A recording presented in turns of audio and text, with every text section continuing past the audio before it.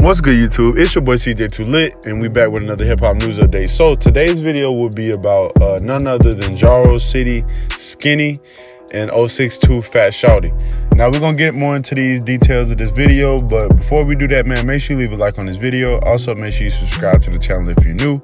Also, make sure you turn on post notifications so you can be notified on every single upload that we come out with. But anyway, man, today we got a very horrific story. So basically, uh, you know, 062 Fat Shawty is a guy that, uh, you know, he's real good friends with a lot of FBG members, FBG Duck in specific, FBG Cash. Uh, we all know FBG Cash and him are really good friends. We've seen them in over, you know, several pictures together. Um, so we know that they're definitely affiliated. Um, now, with that being said, there was a shooting that occurred last night uh, at a house party. Now we all know in Chicago, uh, house parties is definitely not the place that you want to be at. Okay, um, that's where ops see other ops. That's where ops kill other ops, and that's where a lot of these things right here go down. Now, so allegedly, this is the story, right? So allegedly, you know, uh, 062 Shawty, Fat Shawty, he walks into a party, him and his guys, and you know, Jaro City, you know, Skinny is in there. Jaro City Skinny is the guy who shot and killed um, 062 Fat Shawty. So basically, they was in the party. You know, OC, uh, Jaro City Skinny was in the party, and you know, 062 Fat Shawty and his guys they walk in the party. You know, and as he's walking in the party, they instantly notice each other and Jaro City Skinny instantly starts firing off shots and he hits and kills 062 Fat Shawty.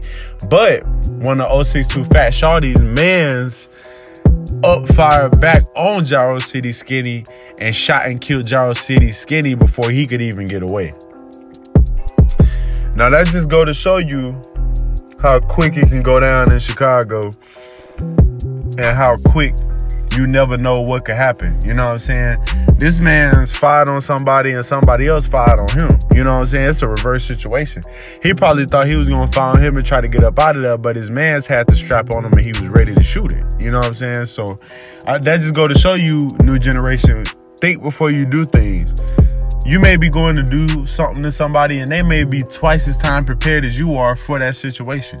You know what I'm saying? So you can't just be out here moving reckless thinking you're going to run up on anybody and shoot them and get away with it or not get hit or not be self-defended. You know what I'm saying? Like people are ready for life or death situations and prepared for life or death situations more these days than they've ever been in a lifetime. You know what I mean? So um, this is a very sad situation, man. And those are really all of the details that they've released so far. I'm definitely excited to figure out um, what really happened uh, in this situation, but it's always sad to see somebody else. And with that being said, man, that's all I got for y'all today, man. Make sure y'all leave a like on this video. Also, make sure you subscribe if you're new.